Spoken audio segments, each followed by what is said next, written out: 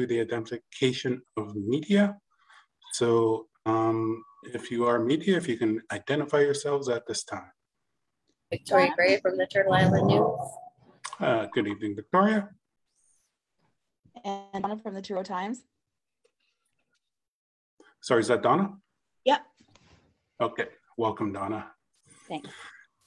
And I see we are streaming live on Facebook, so I'd like to welcome the community that uh, is joining us uh, this evening. Um, welcome, everyone, and um, turning our attention to the agenda. So we have an agenda in front of us. Uh, looking for a mover, seconder, and then we'll open it up for questions and additions. So have moved by Audrey Powless Bomberry, second by Michelle Bomberry. Um, looking, is there any additions um, to the agenda amendments? I see Michelle. Um, can I add Bell to Correct. our agenda? Okay, so Bell has been added. Is there any other items? Going once, going twice. Okay, so I'm going to the vote. All in favor with the addition of Bell. Any opposed? Hearing and seeing none, motion's passed. Okay, going to our first uh, item number four, delegations and presentation. The Integrated Drug Strategy Coordinator uh, is Eve. She is here and uh, we'll be getting a presentation this evening on the drug strategy. So Eve, we do have uh, share screen capabilities. Um, ask that uh, you utilize that if there is a presentation. And um, yeah, over to you. Thank you. Uh, I will be sharing my screen promptly and um, We got it. perfect. And you can hear me okay? Yes. Okay.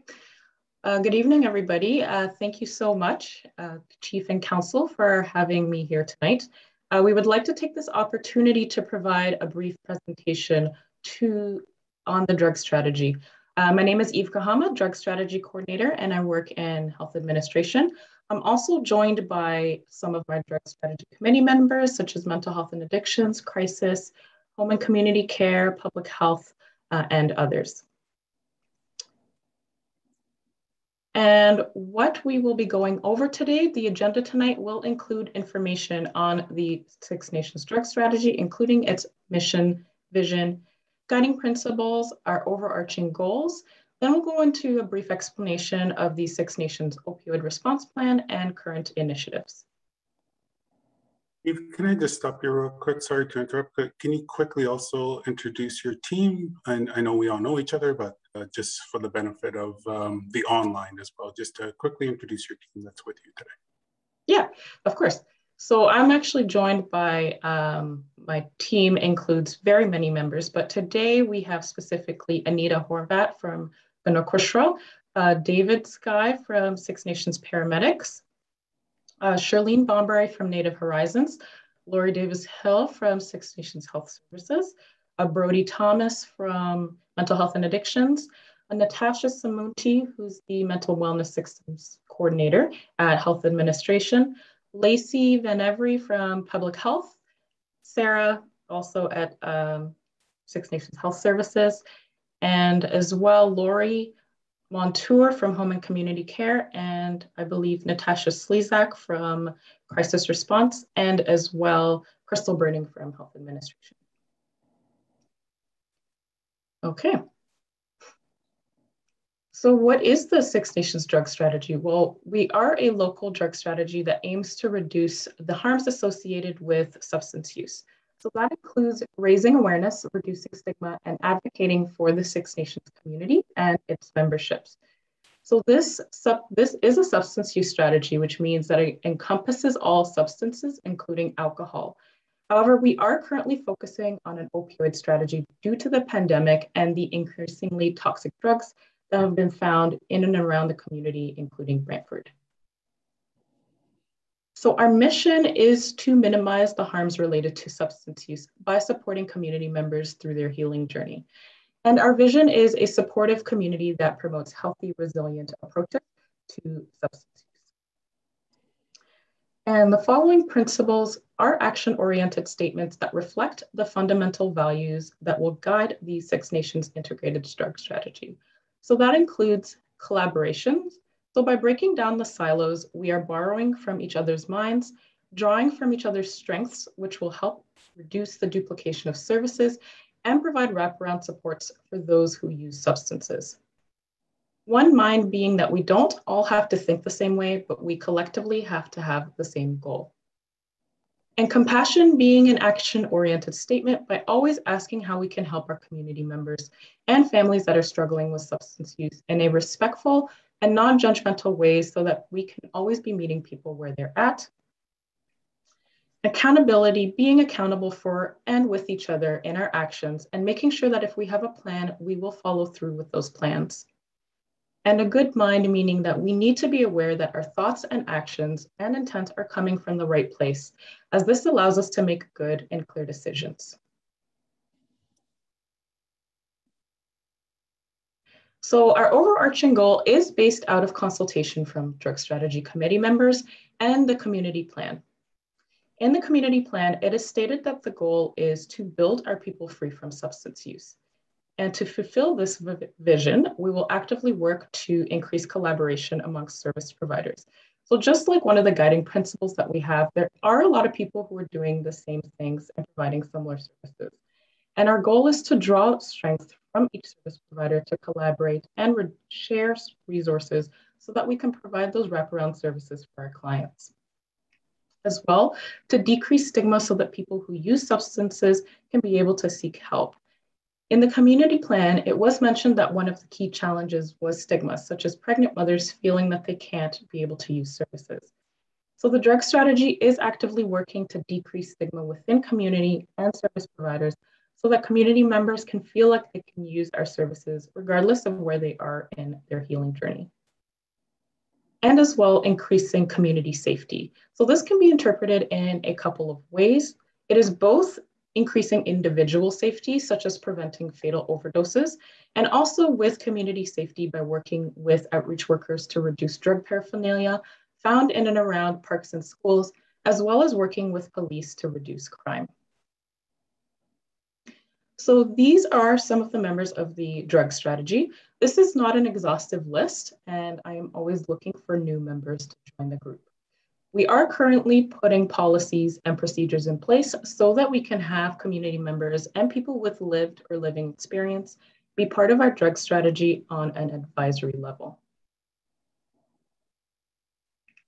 So there are currently 21 different drug strategies in municipalities across Ontario that are in operation, and they're framed by a four pillar model.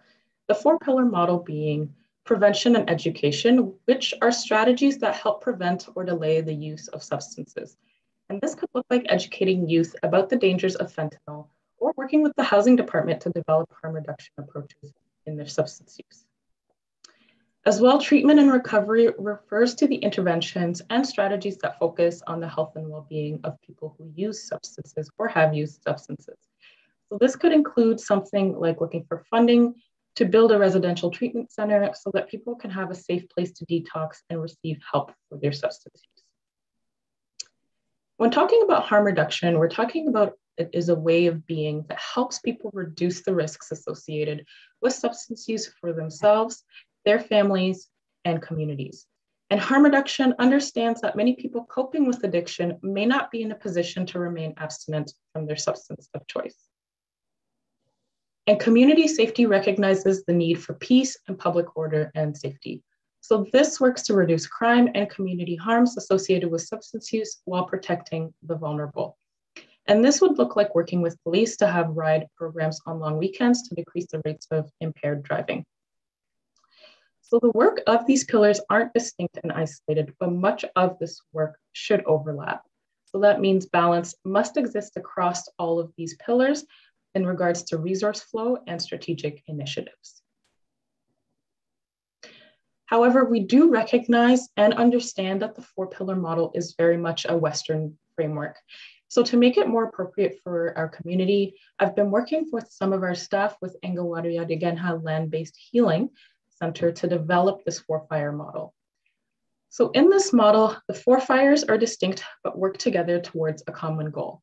And each of the fires have to work together to stay lit, and each of them have certain things to do within the longhouse to keep the fires going. In order to build our people free from substance use, we all have to equally put in the work.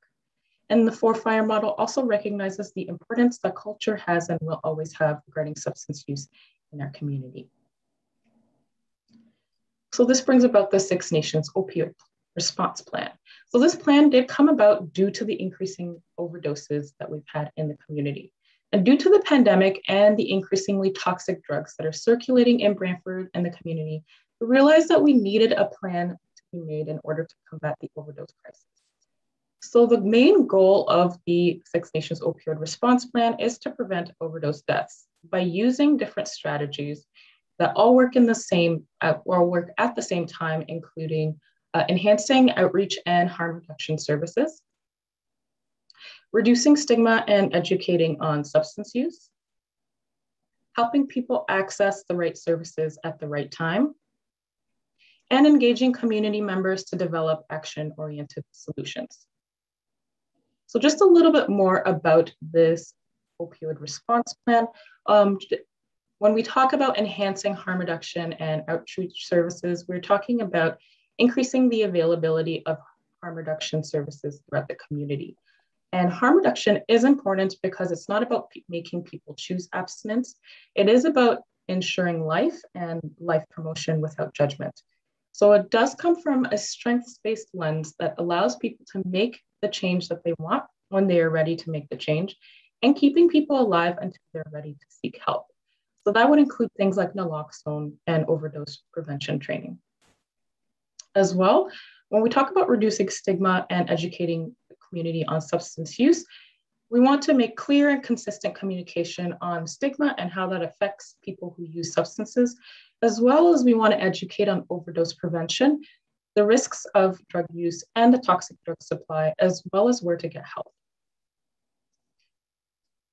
and ensuring that people have access to the right services at the right time.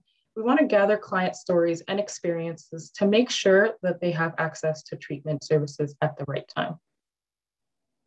And engaging community members in action-oriented solutions, we understand that long-term recommendations are needed to address the overdose crisis, which must be informed by community and appropriate engagement with youth, elders, and people with lived and living experiences. We hope to have a community forum take place during National Addictions Awareness Week, which is the last week of November.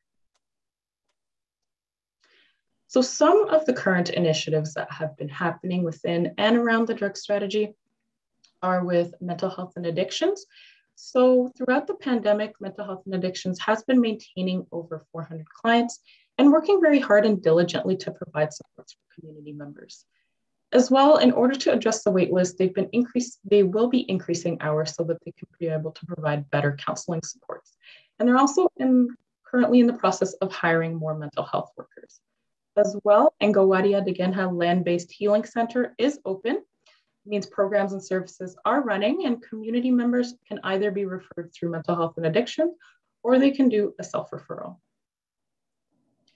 And in terms of providing wraparound supports, the Gandau Crisis Response Team, Mental Health and Addiction, and Ngawadia Degenha are working really hard to establish a 24-hour crisis hub where community members can seek help. As well, we're also in the process of establishing a mobile crisis response team. So this is a program that will have staff partner up with Six Nations Police by providing crisis interventions to people in crisis, as well as their families and caregivers.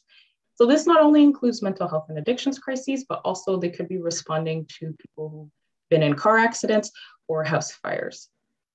As well, the Six Nations Health Bus has become fully operational as of late August, and we've done several naloxone pop-ups where we've trained and given away anywhere between 8 to 20 kit naloxone kits. The AIDS Network outreach van comes around twice a week and services about three clients per visit, where they hand out naloxone kits, harm reduction supplies, and they help connect community members to services in and around the community. And as well, a program that complements the Health Bus is the Overdose Prevention and Response Program, where we'll be teaching community members and service providers not only how to recognize and respond to opioid overdoses, but also how to respond to stimulant and alcohol overdoses as well. And the Family Outreach Support Group was a group created out of the drug strategy, as we understand that there's a lot of people who want to know and understand how to support their loved ones who are using substances. So we're currently meeting on a monthly basis in order to create resources and workshops on how to support loved ones who are using substances. And the cannabis education team is currently doing a six weeks educational series so that people can make safe and informed decisions regarding cannabis. And lastly, we also have a computer bank in place where people can go and access the internet. Uh, we're currently waiting on Hydro so that we can be able to make that final connection. And um, that's about it for my presentation. And I would now open the floor to any questions you may have. Thank you so much for letting me provide the space to present. Well, thank you for your work and presentation, and also everyone that's on this call for your contributions to this important work. Um, definitely comprehensive um, mm, presentation. I am going to go to open the floor to questions. Uh, I see some hands going up, so I'm going to go to Sherry Lynn first, and then Michelle. Um, yeah, just um, just a question regarding uh, what you said. You wanted to hire more mental health workers. Uh, is it possible to hire more psychiatrists or at least another psychiatrist? So it's not such a, a long waiting list for for our community members. Can respond to that, Eve. Um, I was on a call, Sherry Lynn, with um, today with uh, McMaster and with St. Joe's, and they are even having difficulties recruiting psychiatrists. Um, so there is certainly a work uh, worker shortage across Canada that a lot of people are experiencing in all levels of employment. Um, so psychiatry is certainly something that is also um, very difficult to recruit.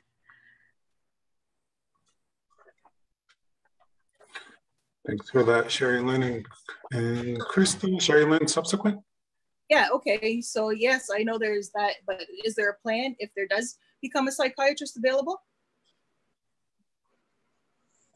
There is, um, we do have a um, community member that is part of and part of our um, group that we're working with McMaster. Um, and I know that she may have certainly have some interest and we have been um, talking to her previously about her interest in coming to Six Nations, but she does have a lot of work right now in Hamilton. And we, we're, we will always be looking to add additional people as opportunities present themselves. Okay, thanks for that, Crystal. I'm going to go to Michelle. Okay, thanks, Nathan. Um, so it's really nice to see that all the programs are trying to work together. I think that's been a goal of, of many managers and directors for a number of years. And so I also want to say it's really um, progressive to hear that we will have mental health workers working with police. And I would hope they're doing that as a preventative measure, not so much uh, you know, after the fact, because I think a lot of what we see in our community is inter- inter- intergenerational trauma. Um, and so we need to have those programs, and you're all facilitating programs, um, but we need to do it in a coordinated effort. So again, Lori, you and I've chatted about the bus many times before.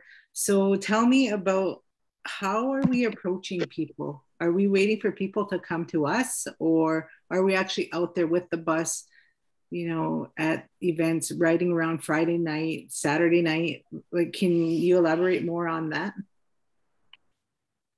So the buses, the buses here, it, it actually uh, exists now. So it's a matter of, um, like you said, socializing it, um, getting people to be aware of it.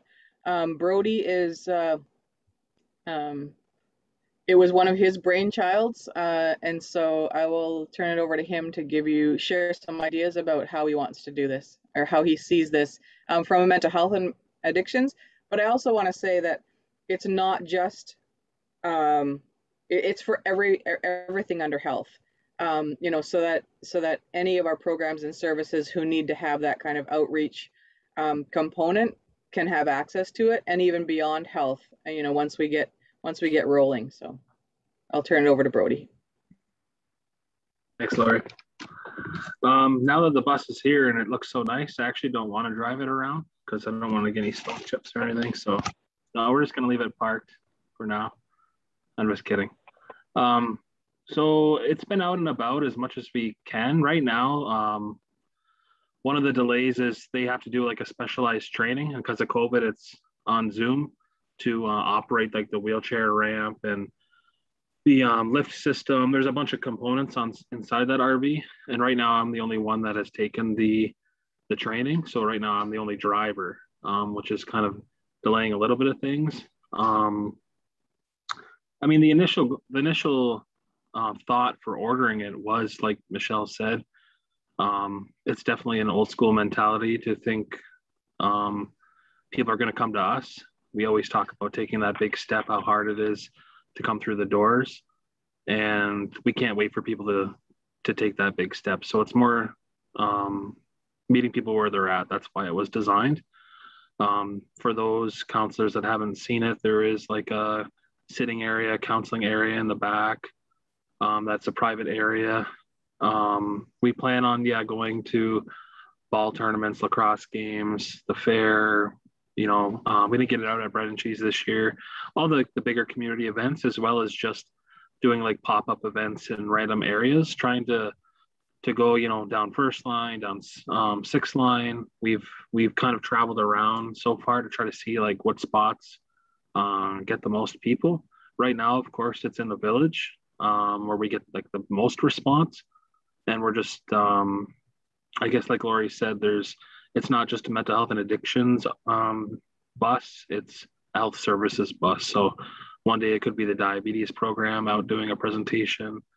Um, could be child and youth health. It could be us. Um, it's just whoever wants to use it for their presentations and outreach. So it's definitely um, it's going to be well used.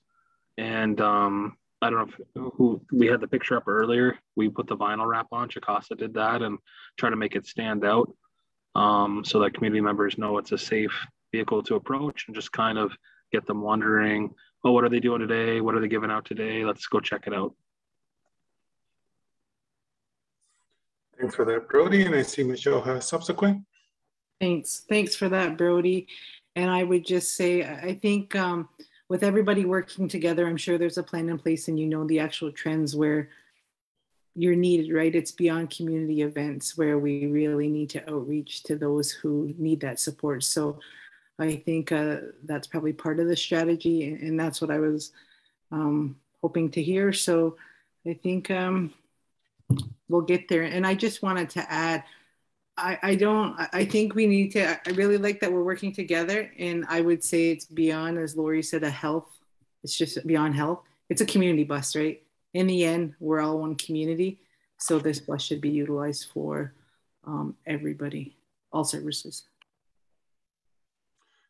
Thanks, Michelle, and thanks, Brody, for those comments. Um, just continuing on, I have um, Wendy and then Audrey. So Wendy, you have the floor.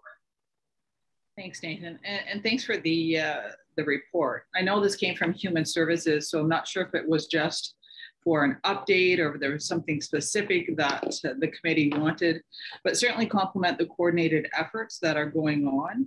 Um, great to see. But in the report, in the deck, you talked about the results of the pandemic and those drivers. I'm just wondering what you have in terms of the, the statistics. I mean, trends generally tell us that mental health is on the rise. It's usually issues impacted by COVID and what's gone on the last couple of years. You know, so what is that breakdown? What are those stats that are driving some of this work Why we're looking at the treatment aspect versus the prevention? Do we have ratio in terms of what we're doing preventative versus that treatment, past addiction, um, all of those things that help us to paint that picture? you know, in terms of mental health in our department itself, do we have contracts? Do we have full-time staff? What's the ratio? Do we have the complement that we need to deal with this statistics and the trends that you're seeing? Do we have competitive salaries? Um, are we recognizing our, our staff and supporting them in their own wellness as they take on this, this, these large issues in, in mental health? And the reason that I'm asking all of these questions, because I didn't do that in the presentation, is what are you looking at from us? Because this is a political table. So, what is that political support or that advocacy that you're seeking, driven by those statistics, driven by those numbers that we need to see in here? Thanks for that, Wendy. And um, Eve, do you want to go first? Um, I guess I, I just wanted to give you the information of what we're seeing and as well to for for advice and, and to see if the direction that we're going is the right direction or what other things we need to do in order to um, provide a community drug strategy because it is supposed to be led by the community. Um, in terms of, I can only speak to the data and trends in terms of overdoses. Uh, so um, Sarah and I, who's the epidemiologist, as you know, have been doing a lot of collecting data on overdoses. And I will let Sarah speak more to that. Um, and we've been noticing certain trends that has let that have led us to going into doing certain types of outreaches like the ones that Brody and I do when we utilize the bus to do naloxone outreach. Um, so Sarah, I'll let you go more into that.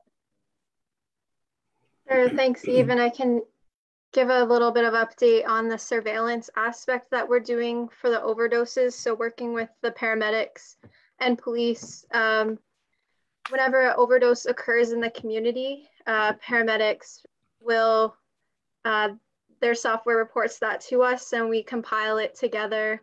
We also have uh, the police that are providing us reports as well. So I kind of take all of that information and uh, and track that on an ongoing basis. So what we've seen is with this with this past year of tracking, uh, we've seen a noticeable increase in the number of overdoses in the community. And I will just note that um, we were this hasn't been tracked in the past, so that that is a contributing factor. But uh, within the reports of the other drug strategy committee, we have a surveillance group as well. They have also reported increased number of overdoses within the community as well. Um, and some trends that we're noticing is that during the end, the end of a month or on the weekend, we notice an increase in overdoses. So this is kind of what led to some strategic strategic naloxone pop-ups uh, because through the various months of tracking, we notice towards the end of the month, we start seeing increase in overdoses as well as long weekends. So those are some trends. Thanks for that, uh, Sarah and Eve. And I see subsequent from Wendy, and then I'll go to Audrey. So subsequent, Wendy. Yeah, well, I appreciate that. What I'm looking for is more that that bigger ticket, those those targets. You know, what's going on around us in surrounding communities? Is there an increase? You know, do we have any type of a track record pre-COVID? Stage one, stage two, stage three, stage four COVID in terms of the waves? Are we seeing a 10% increase in cases, whether it be weekend or weekday or, or what have you? Is it a 50% increase? What are those drivers so that we can build that business case. So if you need more support with the strategy within mental health, that we've got that to drive that forward, whether it's anecdotal or otherwise, is there a way that we can get that moving forward? And then going back to let's look at the numbers in terms of who do you have working in mental health? Do you have enough people? Do you have the um, the salaries to be able to pay? So what can we do politically based on that picture? I can um, speak to some of that as well, and I'm, I'm sure Brody has some things to add also. Um, across the mental wellness continuum, all of the teams, uh, absolutely, we do not have enough people um, to deliver services to our community. Prior to the pandemic, we knew that if um, majority of our community members stood up and said, I need mental health and addiction support today, we would not be able to provide service to them. So we have been trying to work with our funders to talk about increasing um, funding to get more workers for both from a mental health and addictions perspective. But the the difficulty also is that um, a worker shortage in every area across everywhere. Um, so it is very difficult to recruit. Um, I think, I'm sure Brody would have some things to say in regards to salaries and uh, lack of salary, appropriate salary dollars that are contributing to that. Um, we also recognize that we have staff with very high caseloads. Um, so they are in some instances skimming the surface uh, in regards to client issues, not able to contribute as much time as they should um, to uh, sustain, a, if they were able to sustain a smaller caseload. Um, so in terms of political advocacy, funding will help, but we also need actual workers, um, community members that are interested in taking um, taking up this area, I guess, and being a support to their community. Um, it, it is a huge challenge. I, Brody, I don't know if you have anything that you want to add to that. Yeah, I can add a couple things. Um, so as far as the trends go, um, I don't have an exact percentage, but I know our monthly intakes, our, our new clients that want to come in, has pretty much doubled since COVID began. We used to get about 15 to 20 maybe 25 referrals a month. Uh, right now, we're looking at about 40, 45 a month that we're getting. So before we didn't have a, a wait list at all before COVID. Now we have a wait list sitting around 90 as of last week. And that's due to a few things. Obviously, the increase in intakes. Um, like Crystal said, our caseloads are very high. Um, definitely, worker fatigue and burnout is a big concern right now. Um, we health has done excellent with offering uh, different events, wellness events, self care, check in type things for the staff, but it, it's becoming a lot. Um, adding to what Sherry Lynn asked earlier about um, the psychiatrist piece, um, our Kathy McDonald or Dr. McDonald in our office right now, her and I both agree that that might not be exactly what we need. What we need is social workers um, that can do long-term counseling with our people. Um, that's more of the need that her and I agreed that would help um, diminish the case or the sorry the waiting list quite a bit. So those mental wellness workers that are posted right now, there's two of them, um, are more of a social worker type position. So we'll be adding two of them to the team. Um, we're short an addictions counselor right now. That's um, getting interviewed, and we also have a family educator that is going to be hired that will be um, kind of looking after the high risk people on the waiting list while they wait, doing um, brief counseling with them while they're waiting, those higher risk people that need to wait. So we are trying to fill those gaps right now. From a like uh, a higher level, I mean, permanent funding is obviously something. It's hard to attract um, good workers with contracts, um, especially nurses. I've had a hell of a time recruiting nurses over the past three years. Um, luckily, we did. Um, one good thing about COVID has been nurses from outside the community have came in to help us with COVID, and I ended up snagging a few of them to come work in our area um, during that. So thankful for that. But um, I don't know if you guys know the nurses' wages that they're expecting, especially ones that have a specialization in mental health. Um, it's very high wages. We're talking like six figures for a lot of them and we just can't compete with that wage right now. So wage isn't also an issue. Um, space is an issue. Um, I have a 34 staff and like a seven office, seven offices in my my hallway. It's not the most ideal space right now, but um, I know some of the counselors have actually physically come and seen the space. Um, while I have you guys here too, I'm just going to put it in your brain. Um, sidewalks coming into the community a lot of our people don't have transportation and sidewalks coming into the village to get services so people can safely ride a bike on it or walk um, without fear of getting hit by a car um, is something big I think we need. We did um, build a computer bank that was a result of um, internet being an issue. So with COVID, everything was going online, all the appointments, everything. And we all know internet access is an issue. So we did build the computer bank and it's been ready to go for eight weeks, I'd say. We're literally just waiting for hydro to come and hook up the hydro. So it's delays like that where I uh, my hands are tied. I can't can't do anything. I'm just kind of at the mercy of hydro. But our people, that's a service I think um, people you know really need is that computer access too. So those are just some of the things um, from from your level that I think would help. Public transportation is always an issue too. I don't know. You know, we we brainstormed uh, last week about having a short little bus system for people to come in and out of the village. I don't know how far away we are from that, but things like that would um, definitely help. Thanks. Thanks, Brody and, and Crystal for those responses. And I think um, I'm, I'm thinking in my head, we need to do some follow-up on this. Uh, and Wendy, did you have an idea on the follow-up? Yeah, sorry, last last comment. So thank you, Brody, for answering some of my questions about the stats and the trends. I, I, mean, it's one thing to have this great plan and all the work that's gone into it, but if we don't have the, the human capital, if we don't have the staff infrastructure, then we're setting ourselves up for, for failure to the community. I mean, there's great work going on, but we have to have them mirror each other so that we've got the, the ultimate success moving forward.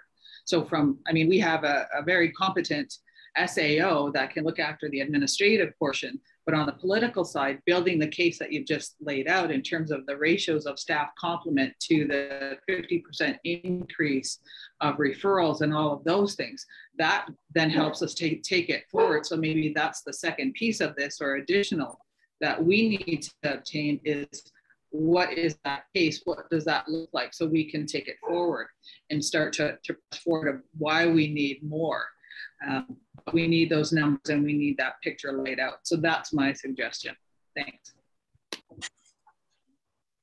Great suggestion. And I think we're thinking along the same lines uh, in terms of next steps. So on my list, I have Audrey and then Sherry Lynn. Uh, thank you very much. Welcome, everybody. It's good to see all of you tonight. Uh, my question is basically uh, to an extent on data. Like you have, Brody, you said you have a, a uh, computer bank that's being built and ready to be hooked up. So my question is for all the programs. So you're starting this and, and I, I, I assume that everybody is going to be putting in, inputting all their data from all the programs. So in six months from now, we can see what, uh, I guess the success of this, this man, the success of the programs, and just be regularly kept up to date on the data. And I'd also like to take this moment to, to commend everybody. Brody, great idea, but it takes a team to do this. And and you're all working together and I couldn't be prouder of you. So Yawa for that. And if you'd address my data question, I would appreciate it. Yawa. Okay, I don't see anyone jumping up and down. Oh wait, Lori, Lori's I was, I was jumping a little bit. Um, so, you know, we've learned a lot from, from our accreditation and we have uh, Sarah now is our epidemiologist who's come on board. Um, that's shifted our access to our data. We're working with um, the Institute for Clinical Evaluative Sciences so that we can that we can have even better uh, access to our data. Working on um, data sharing agreements with surrounding agencies so that we are able to gather that better. And then we've brought on a quality lead um, so that we that we are. I mean, we're we're hearing the, the, the data. We want to be data driven, and that's been our aspiration. And now we have some um, some of those human resources in place to bring those uh, together. So, you know, we'll be working on having dashboards so that we can actually bring that documentation.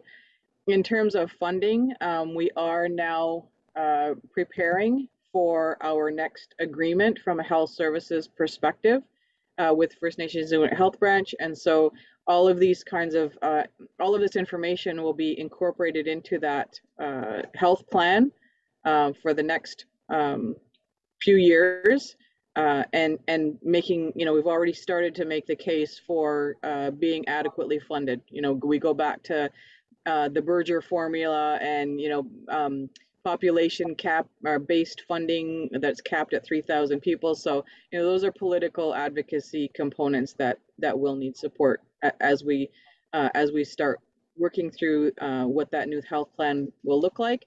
Um, and also, you know, being really creative. We have a lot of people and a lot of organizations at the table for this drug strategy, and keeping our eyes open as well for you know funding that's coming from uh, other other directions, right? So um, we we we are reaching out to be able to access um, you know financial supports that that might coming be coming from ways that were are not typical um, but that really can help meet the needs so. Yeah Lori very well explained. Thank you Audrey and thank Nathan, you. can I be next uh, actually, I have Sherry Lynn next, then yourself, Melba. So Sherry Lynn and then Melba. And then we'll start uh, thinking about uh, next steps and wrapping this up. Yeah, I just wanted to say with Brody, um, since he's been waiting eight weeks with hydro, maybe you can contact Arlie Miracle or Lori Martin, who deal with hydro um, strictly, that can help with hyd- um, these kind of issues to get it moving. That's all.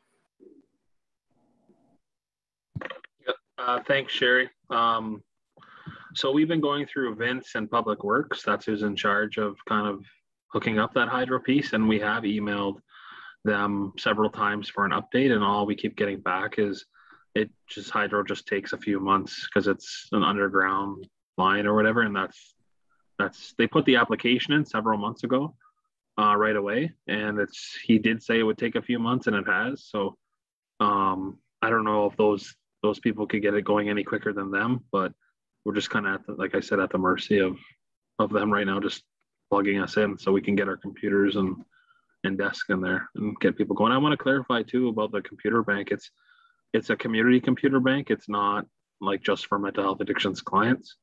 And it was, you know, uh, another reason we built it was to engage people and meet people that are coming in that we usually don't meet. So it's just another form of outreach um, for us, hoping that you know people we see, you know, you know, you see the people at the library and getting the Wi-Fi and all that. So just another group of people that we might bring in that we can build a connection with, and if they need services, then we're there to to hook them up.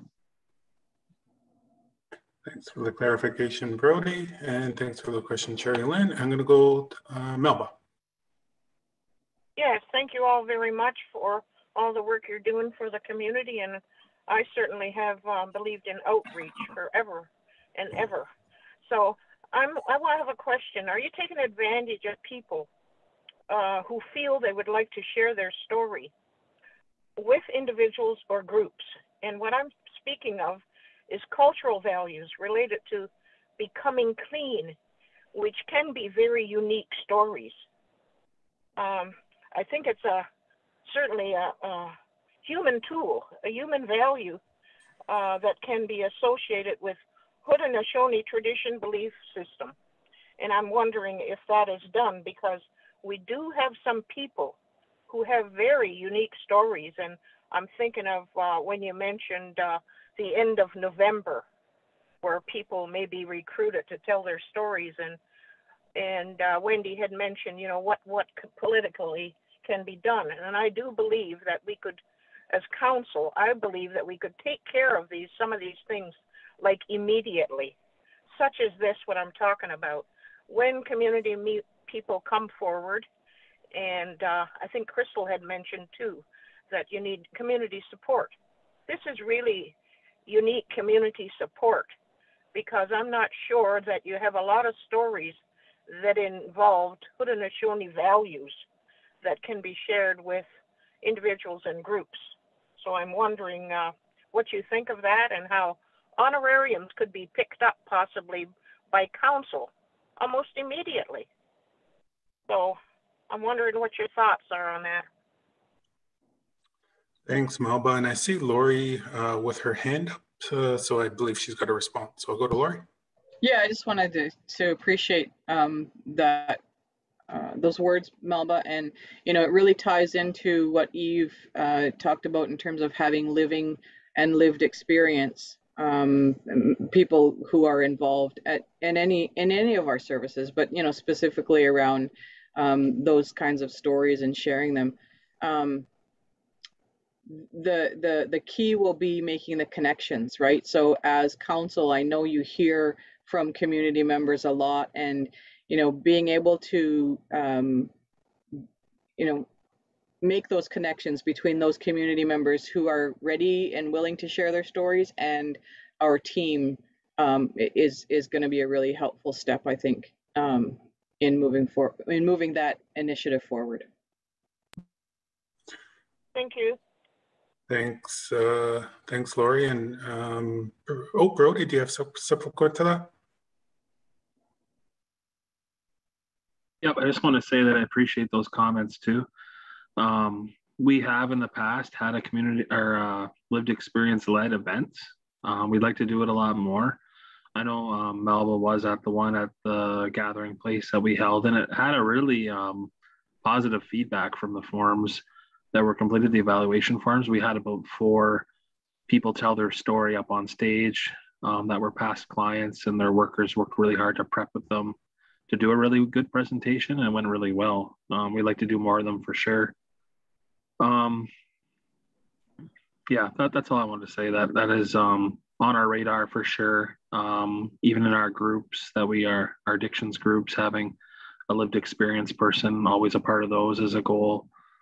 Um, and uh, of course, like you've said in the drug strategy as well, having someone or a few people from the community on that part.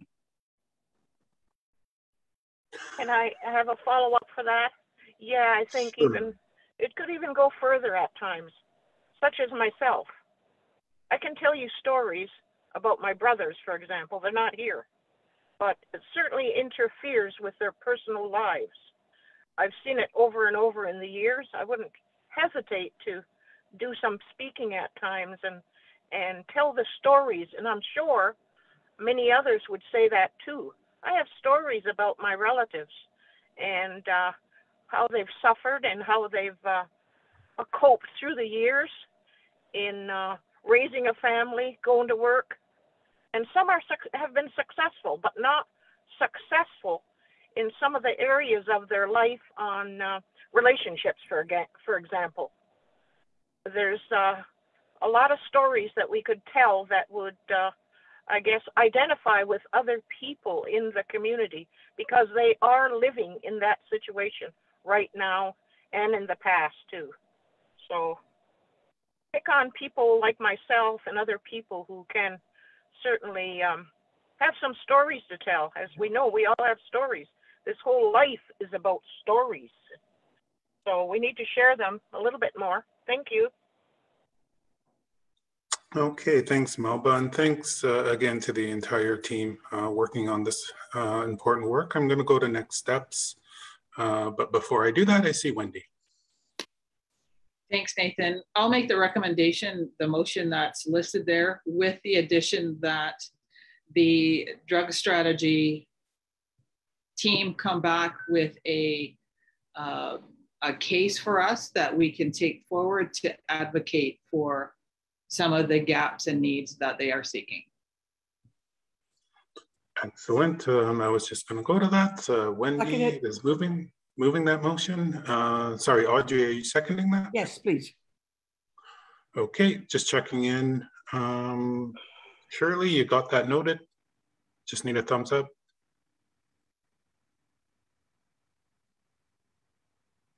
Thumbs up. Okay, so we're going to go. It's been properly moved and seconded. Um, and uh, moving to the vote, all in favor? Is there any opposed? Hearing and seeing none, motion has passed. Um, motion to waive second reading on that. Nathan, do we need it? do we need a second reading given that it's going to come back with additional information with the added? Good call. Good call, Wendy. Um, yeah, I don't think we need second reading on that. So with that, again, just like to thank um, all of you um, for your contributions and, and, the presentation and, and everyone for the, the dialogue today. I think it was really important. Thank you very much for having us. Uh, we really appreciated this dialogue and um, thank you so much for all the comments and really good feedback. We appreciate it. Yeah, well, Yeah, appreciate it. Okay, council, moving on to our next agenda item. We're looking at the adoption of the general council minutes of September 14th. I'll move. Moved by Michelle, seconded by Sherry Lynn. Any questions? Uh, I do. Uh, Bubba? yeah, when we have live stream, um, I've had a concern for some time. Why isn't uh, community involved in Amber Square's opening? I, the reason why I'm asking, I think it's, I think it's really important for the whole community to, to hear and take part in the opening address and how it affects them in how we're thinking and relating to the meeting that we are about to have. So I'm asking the question, why aren't they invo- involved? Why do we have it first, just for council, and then we go into our business? with So the it's community? actually Amber that has requested that it not be live streamed. Really? And, and the reasons, I guess we'll have to follow up with her. Okay, thank you. Okay. And, and thanks for that, uh, uh, Melba, just that inquiry, because I, I did ask once and I, I can't remember how far back, and that's the response I got is, is she requested that it not be uh, recorded. Okay, so just uh, jumping right back into the minutes, I believe they've been moved and seconded. Um, Is there any uh, further amendments, questions, clarifications? Hearing and seeing none, moving to the vote, all in favor? Any opposed? Hearing and seeing none, motion has passed. Uh, Political updates. Um, Again, this is kind of an open session in terms of the political updates. Um, I can give mine since I was, um, uh, Chief Hill was off last week. I did attend the Leadership Council meeting, um, basically to get an update on, on some of the work that's going on there. Um, sad to say, a lot of it was deferred due to quorum. Uh, but uh, some of the topics that were discussed included the restructuring, the charter, uh, and then uh, just an update on, um, I believe it was social services. So those were discussed at Leadership Council. Uh, in addition, I did a uh, try to attend a Iroquois caucus, and again, uh, lack of quorum prevented us from meeting. So I tried to represent the chief last week, but uh, wasn't successful. So those were the two updates from last week. I don't know if anybody else had any updates. First call, second call, nope. Okay, so we're going into scheduling. Um, the first one is a water connection strategy meeting. I believe we're looking at full council for this. Uh, and the proposed date is October 15th. And then uh, Indian Day School, I believe it was requested for another on-site um, support uh, day, uh, similar to what we've done a few, um, actually a couple years ago now. And those tentative dates have been identified as November 7th and 8th. Um, so looking to council to see if we can confirm those two so staff can start planning and doing follow-up. So I'll do it this way. Is there any conflict with those proposed dates? No, I just have a question. It's Melba. Yep. Yeah, do we have part of uh, uh, individuals coming down? Because the gentleman that uh, gave us a last presentation had mentioned that they would come back to the community. Are they going to be here to answer some of the questions? Uh, in terms of, um, yeah, in terms of Gowlings, right? Is that, that's what you're requesting, the, the legal firm that was done? Yes, Yeah, um, Yes. I'm not hundred percent sure, but I'm not doing the planning. I'm wondering, oh, Shirley just gave a thumbs up to that. So, uh, I'm taking that as confirmation that yes, they will be down as well. oh, great. Thank you. Okay, Darren, I see you got your hands up. No, I was putting my thumb up. Sorry, Nathan. Okay. Okay, so I didn't hear opposition to those dates. So that again, uh, water connection strategy, um, October 15th, starting at 10, and then the Indian Day Schools on-site support November 7th and 8th um, from 9 till 6 p.m. So those dates, uh, I didn't hear any opposition, so it looks like we'll go forward with those. Uh, in terms of the next um, two weeks, um, as you know, Orange Shirt Day is on the 30th um, and council will be closed.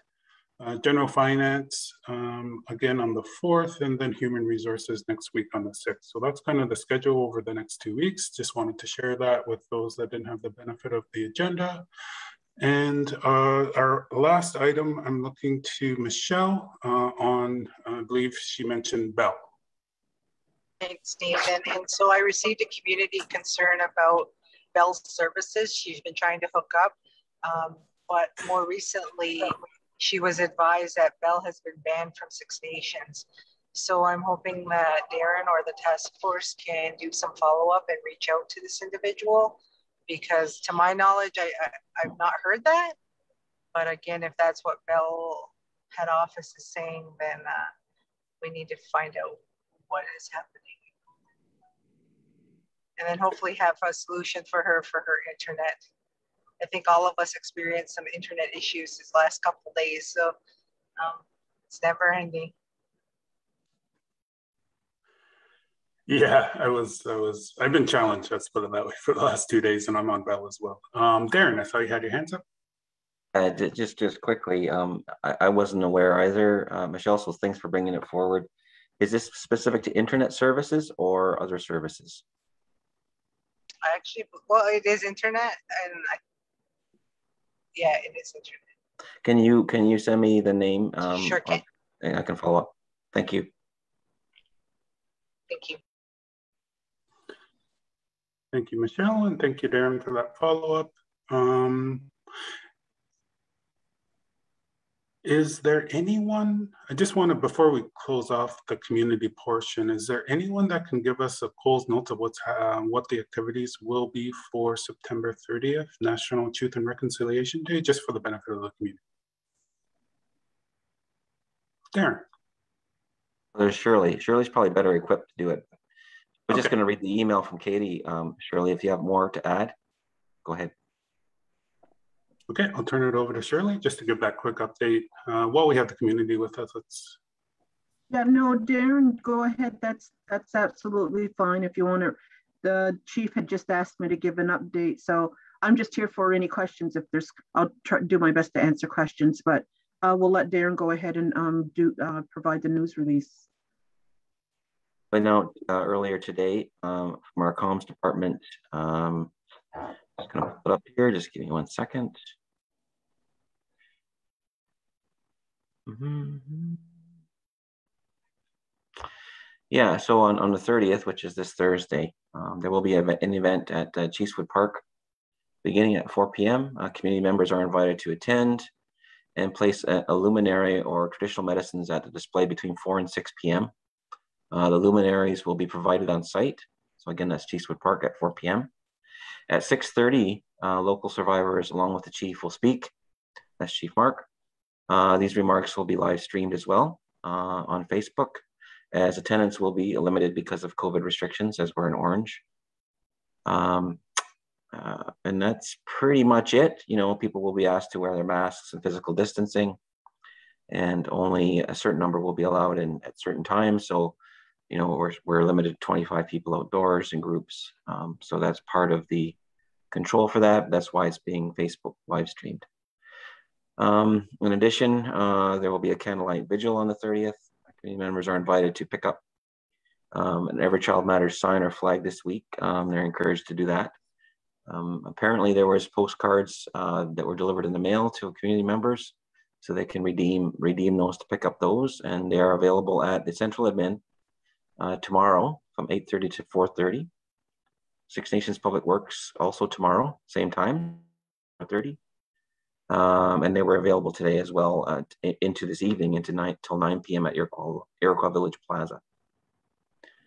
So that's uh, that's pretty much it. Um, and you know we're we're um, encouraging people to do a an act of of awareness or, you know, show their displays, uh, the orange flags, etc. at homes using the hashtag of uh, hashtag SN Orange Shirt Day and share that in your on your media circles and, and distribute that way as an act of awareness and education uh, uh, to, to, to the greater public. So uh, we're, we're asking that not just of staff, but but if community, if, if, if, if they're so inclined. So uh, that's pretty much it. And as always, we have uh, supports available to people as they work through this. Appreciate that, Darren. Thanks for the update. And I did get my postcard today, so um, it did. They did go out. They're on all the mailboxes, um, so that's good. Uh, were there any questions? For sure. okay, hearing and seeing none. Um, at this time, I just want to wish the community well. Um, and uh, like Darren said, we do have uh, supports out there should you require it leading into uh, Truth and Reconciliation Day. So just a reminder to that and wish the community a great evening, um, rest of your evening. Nyamagoa, looking to council to give me a motion to adjourn to in camera. Oh. Sherry, moved by Sherry Lynn, seconder. I will. Is that Michelle? I think that was Michelle. Moved yes. by Sherry Lynn, seconded by Michelle. All in favor? Any opposed? Hearing and seeing none, motion has passed. Okay, Nolan